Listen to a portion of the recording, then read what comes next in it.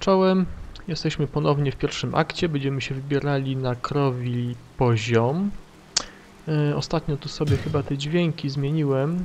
Już nie powinno być z nimi problemów.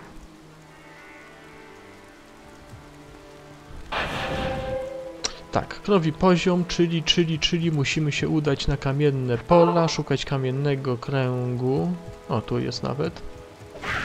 Cyk, rekaniszu padł od razu, dawno go nie widzieliśmy. I wbijamy ostro. Tu zaraz jacyś szczempioni zawsze są, tak? No są, co się tu z nimi stało? A, Griswold jest? Griswolda już? Ojdź. To jak się raz zabije Griswolda, potem go nie ma? Dobra, mniejsza z tym. Myślałem, że można go kilka razy zabijać. Myliłem się.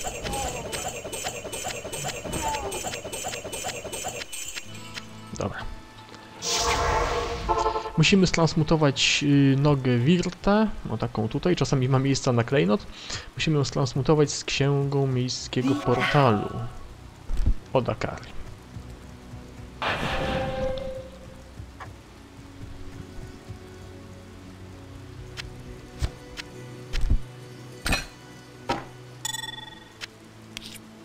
No działa.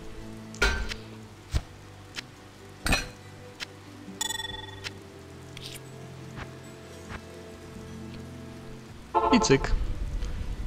No tak, tutaj gdzieś będzie sobie chodził krowi król. No.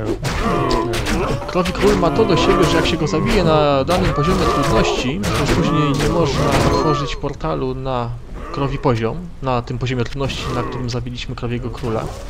Ale my nie, nie, planuje, nie planujemy oczywiście tutaj wracać potem, obchodzić tego krowiego poziomu kilka razy, więc spokojnie zabijemy tego krowiego władcę. Jaredowy kamień. 3 do telekineza, no sprawdzimy. Sprawdzimy cenę. Um, nie ominąłem, Buzdygan to już jest drugopoziomowy, a zobaczymy sobie z ciekawości. Coraz częściej będziemy już widzieć te przedmioty dru- drugopoziomowe, zwłaszcza jak wejdziemy na Nightmare. Chyba istota jak wyrzuca przedmiot to jest chyba 10 czy 20% szansy, że będzie już właśnie przedmiotem wyjątkowym. Czyli jak to ja nazywam drugopoziomowym.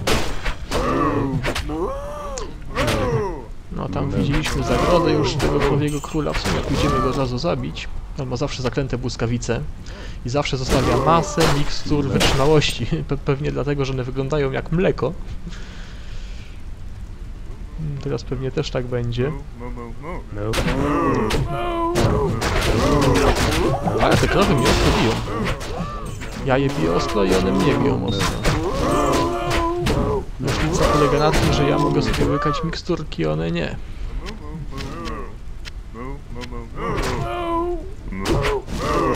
No jest królik. No i masa tych mikstur. Fajnie to jest. Dobra, spreparowana głowa, sprawdzimy, szable sprawdzimy, koniecznie. Mm. Jak jest dużo przedmiotów, mm, jak dużo przedmiotów wy, wypadnie z jakiegoś bossa, no to lepiej po, pozbierać troszeczkę, bo czasami okazuje się, że tych napisów jest tak dużo, że część z nich wychodzi poza ekran i może się okazać, że przegapiliśmy jakiś przedmiot. Hmm, hmm, hmm. Super miksturkę leczenia sobie weźmiemy. Dobra. Obejdę ten krowi poziom jakoś tak naokoło tutaj, później się przejdę środkiem. Tak, żebyśmy nie ominęli żadnej krowy przecież tutaj.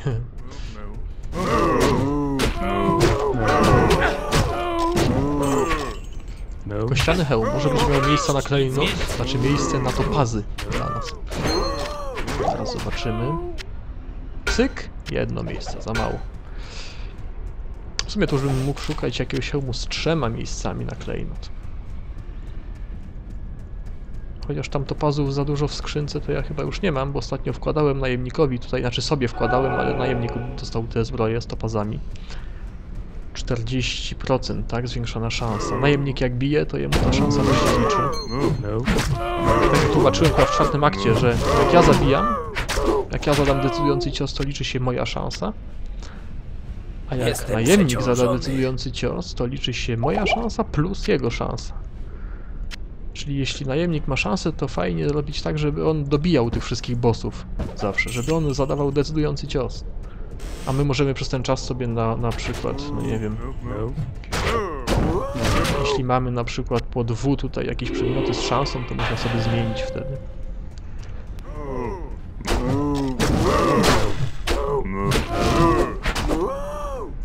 Będziemy tak kombinować właśnie jak zrobimy Shael Etch w tarczy. Albo jeśli znajdziemy Mewę, ale pewnie nie znajdziemy. Albo ostrze Alibaby też ma szansę na zdobycie magicznych przedmiotów. Hmm, te martwe łotrzyce widać też tutaj przyszły zabijać krowy. Przeciążony. im to wyszło.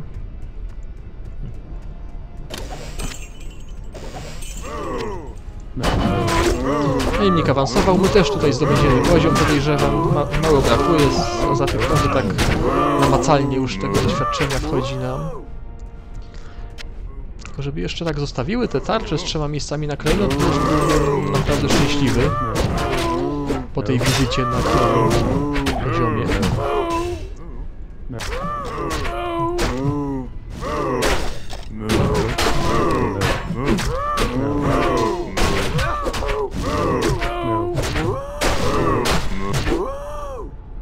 Przeszywający łuk też już jest Nie mogę drugopoziomowy. nieść nic więcej. Hmm, hmm, hmm. Z początku chciałem ten święty poziom zadedykować świętej pamięci Jestem Andrzejowi. Leperowi, no bo to w końcu krowi poziom, ale nie wiem, czy to jest stosowne, więc może lepiej nie będę dedykował. Chociaż Andrzej miał po- poczucie humoru, to pewnie by się nie obraził. Ametyst. Nie mogę nieść nic więcej. Ajej. Dobra, skoczymy zaraz do tego obozowiska łotrzyc, sprzedać to. A tu ogólnie stosunkowo dużo klejnotów wypada i jeszcze pewnie będzie wypadało.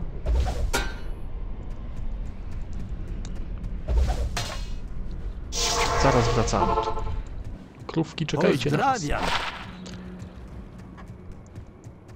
Ta szabelka mnie interesuje. Witaj w imieniu zakonu. O, 95 do skuteczności ataku. I jeszcze zwiększona szybkość ataku 20%. Blach, manę wykrada. Hmm. Chociaż wykradanie many to z obrażeń fizycznych, których my nie będziemy, podejrzewam, mieli. Jeśli chodzi o template, jaki planuję na Nightmare. Ale ta szabelka już jest fajna, musi zostać. Zręczność wymagana 25, bardzo mało, fajnie, fajnie. Dobra, ale to zaraz, to zaraz. Najpierw zabijemy te wszystkie krowy, później będziemy myśleć o template na Nightmare, jaki ma być. A, to nic takiego, dobra, co to jest w ogóle? 10 do życia, zimno. Zimno musi być.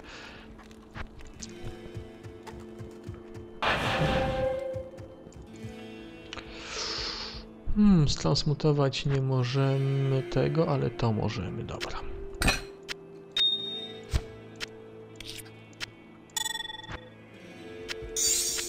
O, ładnie pójdzie, patrzcie. Redukcja miejsca.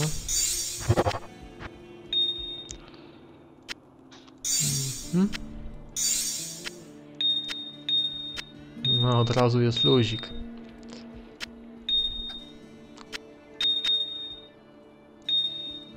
Świetnie. A, w sumie mógłbym... A nie, dobra. Relikt no kozan. To lepiej zostawię, to zostawiamy. Później powiem dlaczego dokładnie. I wracamy na krowi poziom. Po więcej fajnych przedmiotów. Klucz, bo tutaj też sporo tych skrzynek jest. To nie byle jak czasami.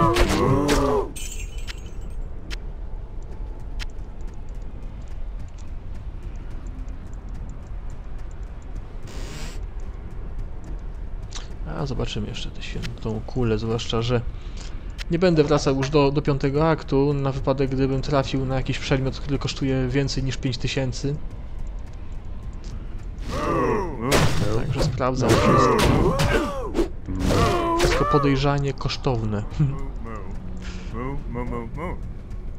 No.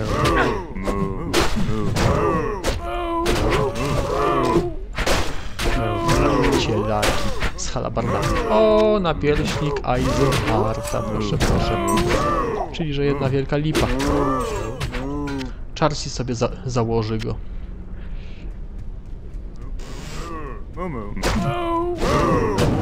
Skrzynka Eisenharta. Napierśnik. Jeszcze chyba jest jakaś tam tarcza Eisenharta, hełm Eisenharta. I co jeszcze? Mieczyk Eisenharta jest jeszcze?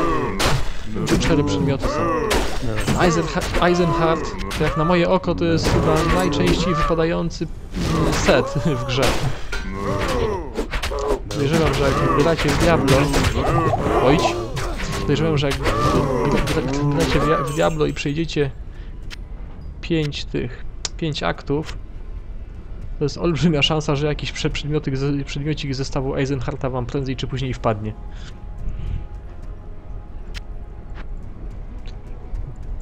No dobra, ale przed chwilą padłbym na krowach. To by było dosyć przykre. Wiecie co? Sza tę szablę też sprawdzę. Tę szablę też sprawdzę. Nadkruszony rubinek, świetnie. A, laska, laska, mówcie, że tak... Aj, wy siedzicie cicho zawsze. Widzicie, że wypada fajna laska, to krzyczcie.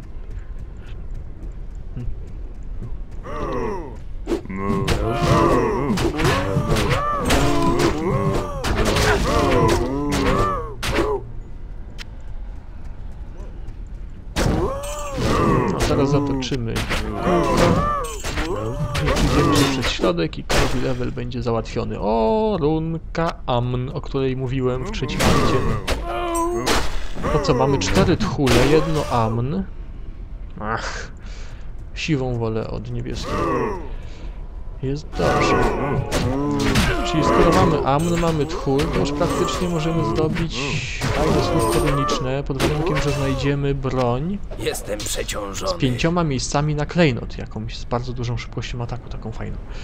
Mm, długi miecz chciałbym sprawdzić, a już miejsca brakuje.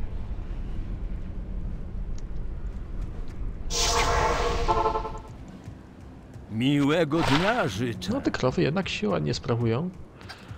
Sporo tych fajnych przedmiotów leci, przynajmniej tych kosztownych, tylko mówię tutaj 5000 tylko. No, skrzynka Eisenharta. Odparowanie tarcza, obręcz... Obręcz? Co to jest obręcz?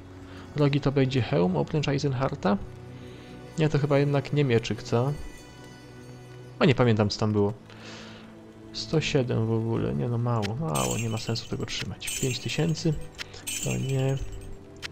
Kluczyk... Okej.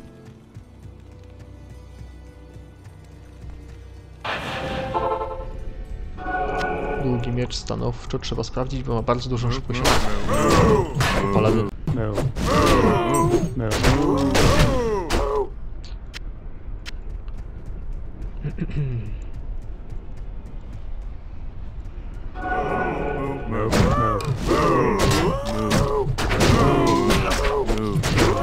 No. Jakaś runka, słyszałem runkę. Pyk, ort, a ładnie. Wielkie, wielkie berło żółte. No te krowy jednak. Kto by pomyślał? Znaczy ten by pomyślał, kto chodzi często na krowy. Ja tam z, zawsze raz przyjdę na, na, na krowę, wybiję je i już nie, nie wracam potem. Dobra. No to jeszcze sobie wezmę, chociaż zaraz i tak zrobimy reset. Ale z rozpędu już tutaj dałem te punkciki.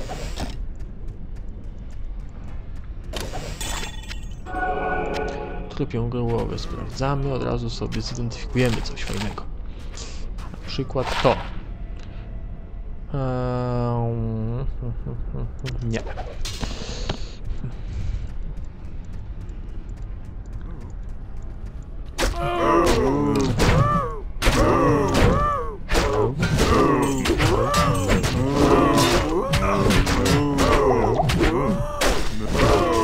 Tarcza, tarcza wypadła, tak była siwa. Siwa. No pewnie nie będzie siwa. No jak będzie siwa, to będzie miała pewnie jedno miejsce na klejnot. No tak, biała. Mm. Przeszywający łuk. Też drugopoziomowy. Zauważcie, że te krowy wydają takie różne y, rodzaje tych y, muknięć swoich. Muczą na, na różne sposoby i taka ciekawostka, te ich głosy muczenia to są głosy twórców Diablo. Oni sobie właśnie robili jaja i podkładali głosy pod te krowy. Każdy typ y, muczenia to jest głos innego twórcy Diablo.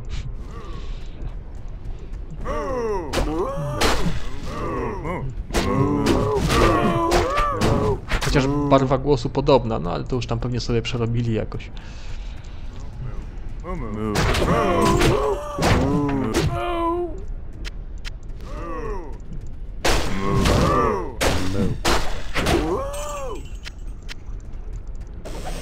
stanowczo te łotrzycy przychodziły tutaj sobie zabijać krowy na krowim levelu, no ale jak widać średnio im to wychodziło. Pierścionek wypadł, słyszałem, jest. Pika, pika, Pikachu. Zwój, dobra. Dobra, za- zatoczyliśmy kółko. Jeszcze tutaj zobaczę, czy jakaś krowa się nie, nie schowała. Nie, ale kamień się schował. ale krowy pod kamieniem nie było. I jeszcze załatwimy ten środek i wracamy resetować, tak? No ale będzie się działo. Przygotujemy się do wejścia na Nightmare. Ja nie wiem, co to będzie, te odporności, jak sobie pomyślę. O 40% spadną nam odporności przy wejściu na Nightmare. Na ogień będą ujemne. Tam pełno tych szamanów z ogniem przecież będzie chodziło. No, zawsze będzie można nałożyć, znaczy założyć relikt no kozan na szyję, ale szkoda też 20% szansy tu mam. No zobaczymy jeszcze. O, klejnocik wypadł, słyszałem. Klejnot.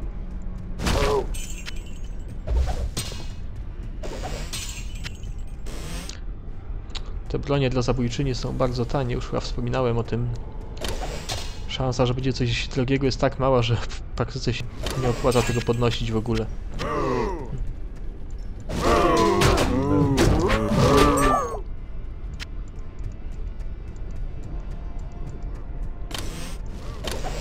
Dużo tych zamkniętych skrzyń tutaj zawsze jest. Nie O, mogę o, o, o, talizman. Najbardziej lubię talizmany z odpornościami.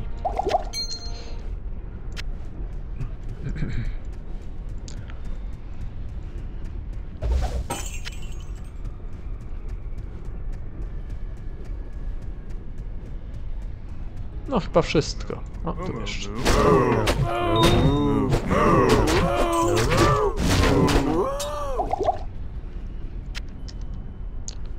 Rubin. O, dymiącą kulę by trzeba było sprawdzić. Hmm, wyssanie życia. Teleport. Teleport droższy, co?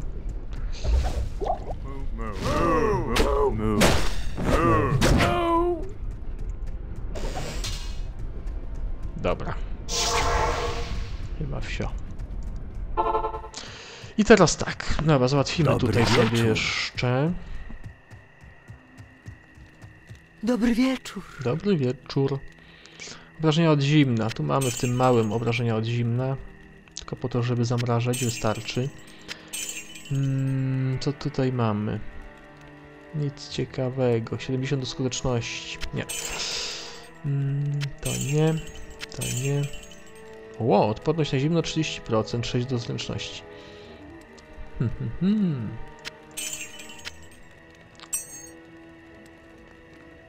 Na razie zostawię go. Kto wie, czy nie będzie potrzebny w pewnym momencie. Zwłaszcza jak najemnikowi spadną odporności o 40, 24 będzie miał. Z wyjątkiem ognia i trucizn.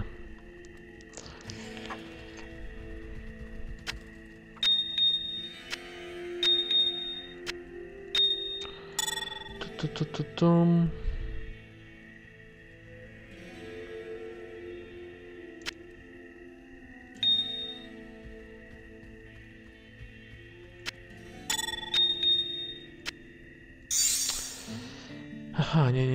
tu musimy inaczej. E, Te runki są.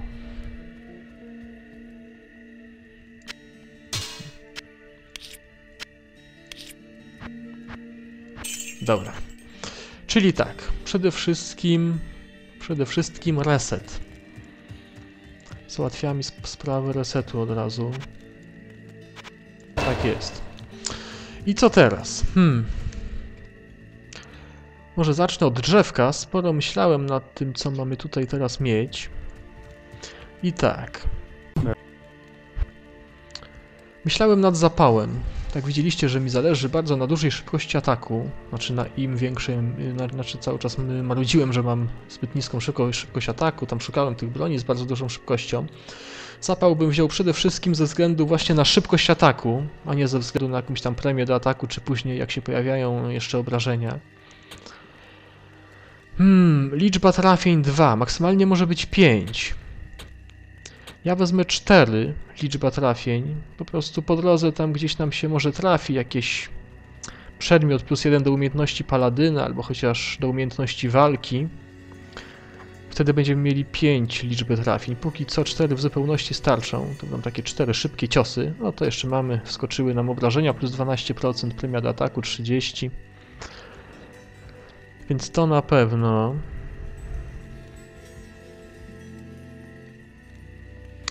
Kosztuje tylko 2 many. Czyli nawet jakby nie było regeneracji many, to byśmy mogli tego 40 razy użyć. W zupełności wystarczy, nie będziemy musieli żadnej e- energii brać.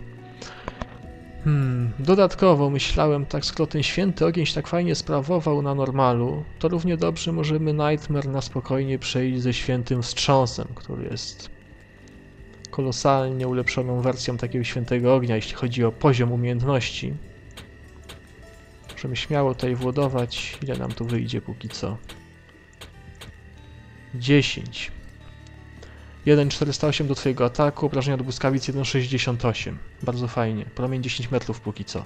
I to jest wzmac y, wzmacniane przez odporność na błyskawice oraz przez zbawienie. Przez zbawienie tylko 4%, więc tutaj nie będę na pewno póki co tego brał. Ale odporność na błyskawice wzmacnia aż o 12% za każdy punkcik. I tu bym chętnie włożył trochę tych punktów. Zwłaszcza, że przypominam, że odporność na błyskawice zwiększa nam maksymalną odporność na błyskawice, jaką możemy mieć. Świetna sprawa, zwłaszcza hmm, na przykład na takiego Diablo, na jego główną broń, czyli te błyskawice. Poza tym sporo istot spotykamy z zaklętymi błyskawicami. Ogólnie odporność na błyskawice jedna z najbardziej pożądanych odporności w Diablo. Także dodatkowy bonus zbrania w odporność na błyskawice, taki, taka, taki bonus defensywny tutaj, no i ofensywny do świętego wstrząsu. Także śmiało możemy tutaj brać. Ile się da, ile to tam wyjdzie? 19, tak? No, dostaniemy punkcik od Akary, włączymy tutaj ostatni punkt 20. Dobijemy później jeszcze do tego świętego wstrząsu do 20 i będę chciał wziąć brać już świętą, świętą tarczę jako element defensywny do obrony. Podejrzewam, że, zosta że zostanę jednak przy tym y, najemniku z aurą obronną. Wtedy byśmy mieli bonus do obrony od aury, jeszcze kolosalny bonus od tarczy. Sprawa obrony byłaby załatwiona. Tak w, w miarę dobrze.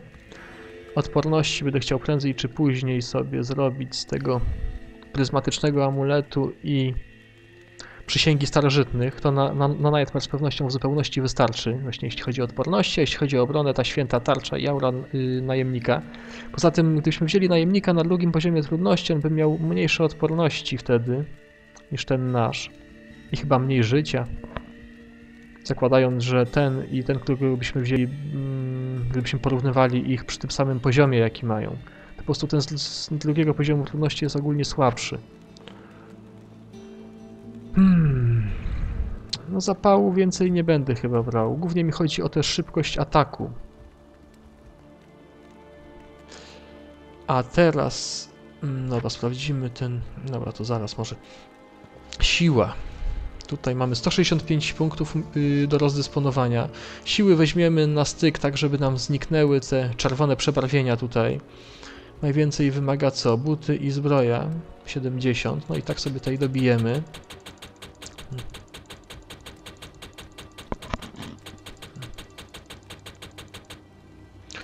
A, 71 mi się kliknęło, ale to nic. Y, Dobrze, że się kliknęło 71 z tego względu, że ja tutaj, mm, jeśli dobrze pamiętam, O właśnie. Tak naprawdę mamy 70 siły. Gdybyśmy chcieli ten pierścionek zmienić, ja pewnie go zmienimy, bo on jest bardzo słaby. Ja go tylko noszę ze względu na 13% większą szansę na zdobycie magicznych przedmiotów. Szybko go pewnie wymienimy na jakąś lepszą szansę, albo na coś ogólnie innego. I wtedy by nam ta siła spadła, spadła o 1 i byłby problem. Także 71 jest ok, 70 bazowo. Żywotności na pewno dobije do 100.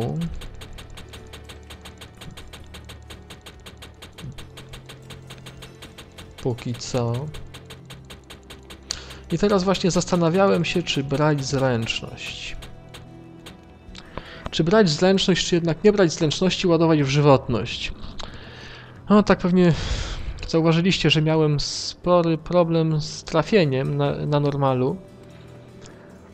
Tylko, że teraz mm, plan jest taki ogólnie, że na drugim poziomie trudności możemy już dostać, nawet w miarę szybko chyba, broń, która ignoruje obronę celu. Ja sobie oczywiście zdaję sprawę z tego, że to ig- ignorowanie obrony celu nie działa na bossów.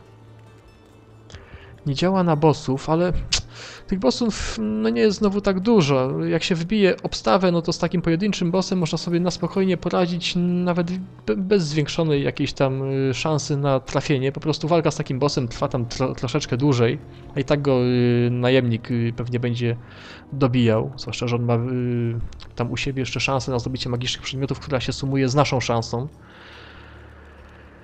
Także głównie chodzi o to, żeby szybko trafiać, znaczy, żeby szybko uderzać i celnie uderzać te, te zwykłe istoty. Gdybyśmy zdobyli broń, która ignoruje obronę celu i ma bardzo dużą szybkość ataku, to nawet bez tej zręczności, zobaczcie jak ja odpalę tutaj tę aurę naszą, zaraz sobie um, weźmiemy tak.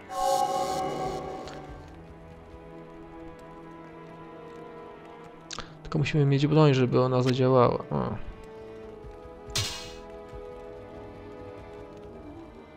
A nie, co ja włączyłem? Odporność na, na błyskawice. A, i tak patrzę, co się tu dzieje. No, tak. Zobaczcie, nawet jak nie mamy broni w łapie, on z samej pięści zadaje w tej chwili 9349. 1349 maksymalne obrażenia, więc po prostu zakładając, żebyśmy wzięli jakąś broń, która trafia z bardzo dużą szybkością ataku jeszcze ma ignorowanie obrony celu, to każdy zwykły potwór będzie po prostu padał y, momentalnie. Właściwie każda grupka zwykłych potworów będzie padała momentalnie. Na drugim poziomie trudności jeszcze problemów z niewrażliwościami u wrogich istot nie ma. Co najwyżej mogą mieć jakieś tam zwiększone odporności, ale to i tak to y, obrażenia od błyskawic są kolosalne i będą się jeszcze zwiększać. Dopiero mamy święty wstrząs na 10 poziomie, to jest połowa. Hmm. A jeśli chodzi właśnie o tych bossów, no możemy ich zabijać troszeczkę wolniej, jeżeli nie będziemy mieli zręczności. A nawet też nie tak wolno, bo byśmy pod dwójkę ustawili sobie broń z celnością.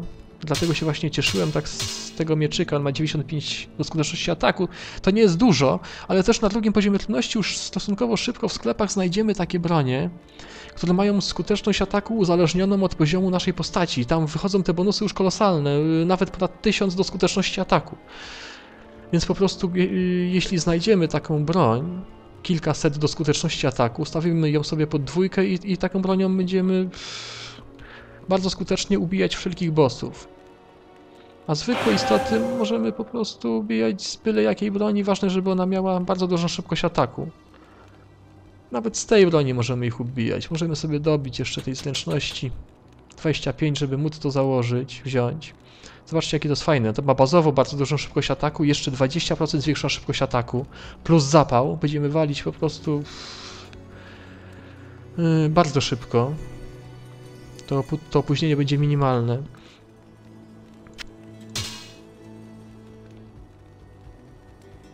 Obrażenia 17 1373, a od aury 1 223. Póki co. To sprzedam. Ten mieczyk nosiłem tylko po to, ponieważ, znaczy ze, ze względu na to, że miał plus 2 do umiejętności posługiwania się ogniem, to było idealne tam na na, te, na ten święty ogień. Teraz potrzebne już nie będzie. No miałem trzymać ten plus 2 do Vigor, no ale skoro pla plan jest taki, żeby mieć ignorowanie ob obrony celu przy jedynce i jakąś, jakieś kolosalne zwiększenie skuteczności pod dwójką, No to wigoru już nie będę trzymał. No zobaczymy jak to będzie. Ja po prostu te 40 punktów zostawię sobie jeszcze tutaj. Nie będę ich dawał w żywotność. Ale podejrzewam, że prędzej czy później właśnie tak zrobię. Będę jednak brał w żywotność, jednak przetrwanie na Nightmare priorytetowa sprawa. No zręczność niby potrzebna jeszcze do bloku jest. Ale myślę, że na Nightmares bez problemu sobie bez tego bloku poradzimy, zwłaszcza, że jednak sporo będę... że jednak skupiłem się na obronie, jeśli chodzi o najemnika, yy, jeśli chodzi o tę jego aurę. Obro obrony będziemy mieli sporo, jeszcze zwłaszcza jak będę później inwestował w tę świętą tarczę. Także blok taki konieczny nie będzie, będziemy stawiać na obronę, na odporności z pryzmatycznego amuletu i przysięgi starożytnych. To właśnie chodzi o defensywę wszystko, a ofensywa przede wszystkim bardzo duża szybkość ataku, wzmacniana przez zapał, a obrażenia pochodzące głównie właśnie od błyskawic tutaj.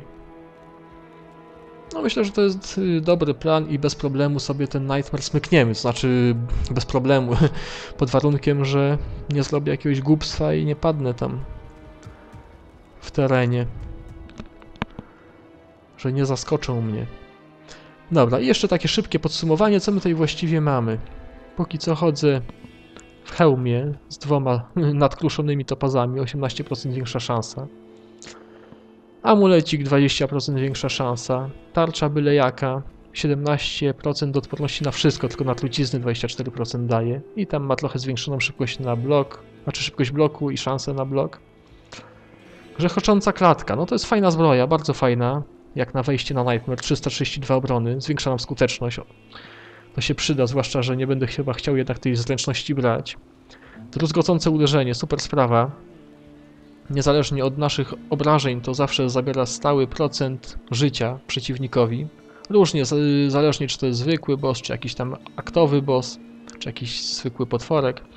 W każdym razie zawsze stały procent życia, jakie potworkowi pozostało. No i taka mniej fajna zdolność w tej zbroi to jest to, że trafienie zmusza potwora do ucieczki, aż 40%. Ech. Może się okazać, że trzeba będzie za nimi ganiać.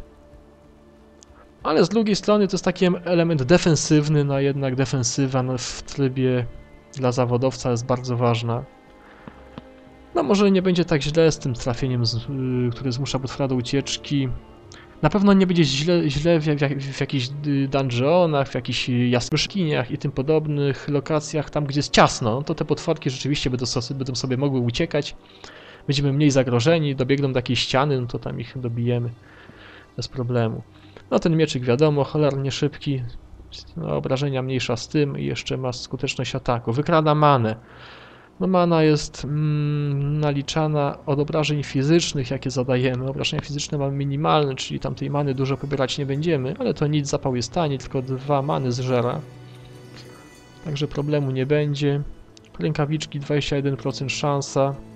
Pierścień dwa- 13% szansa. Pasek 20% odporności na zimno i nowa mrozu. Ta nowa mrozu co jakiś czas walnie się, fajnie się sprawowała ogólnie. 9% większa szansa, ale 100 do, do skuteczności ataku. To taki fajny pierścionek z skutecznością. No i buty 25% szansa. Odporności nam mocno spadną, w razie czego możemy zawsze budki tutaj z zimnem założyć 40%. Rękawiczki ofensywne to tam mniejsza z tym. No i relikt no kozan 50% do odporności na ogień. A najemnik Korona nieumarłych, duża obrona jak na Nightmare będzie. 99. I ogólnie skuteczność i obrażenia zwiększone przeciwko nieumarłym. Dodatkowo najemnik wykrada żyć 5%, to mu się bardzo przyda. Jak wejdziemy na Nightmare, najemnik ma automatycznie zmniejszane obrażenia tam. Nie pamiętam o ile, tam chyba było o 35% albo do 35%, jakoś tak. Mm, Wiem, że sporo mu te obrażenia spadną co nie będzie widoczne tutaj, ale ogólnie mniej będą zadawać tych obrażeń istotą. No, taka fajna korona. Odporność na, trucizny spore, także Andariel pewnie przetrwa. Zbroja z szansą. Obrona 182, odporność na ogień 16%, to mu się przyda. No i taka fajna gizarma, 32-66 obrażenia. Sto- 107 do skuteczności ataku. No dobrze, tyle jeśli chodzi o podsumowanie. Tak jak mówiłem, plan jest następujący, żeby znaleźć teraz szybko w miarę broni z ignorowaniem ob obrony celu. Wtedy mieczyk pójdzie pod dwójkę. Z czasem tutaj pójdzie jakiś inny mieczyk z jakąś kolosalną celnością, taki właśnie na bossów on będzie. Czyli tak jak było w pierwszym akcie, najważniejsza celność i szybkość ataku. A obrażenia mamy z drzewka. Okej, czyli do zobaczenia na drugim poziomie trudności, na Nightmare. Na razie.